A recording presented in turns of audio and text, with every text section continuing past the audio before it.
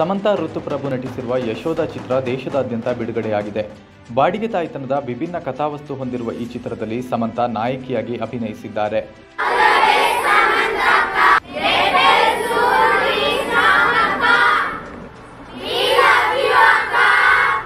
ಚಿತ್ರ ಬಿಡುಗಡೆ ಆಗುತ್ತಿದ್ದಂತೆ ಸಾಮಾಜಿಕ ಜಾಲತಾಣಗಳಲ್ಲಿ ಮತ್ತು ಚಿತ್ರಮಂದಿರಗಳ ಹೊರಗೆ ಪ್ರೇಕ್ಷಕರ ಮೆಚ್ಚುಗೆ ವ್ಯಕ್ತವಾಗುತ್ತಿದೆ.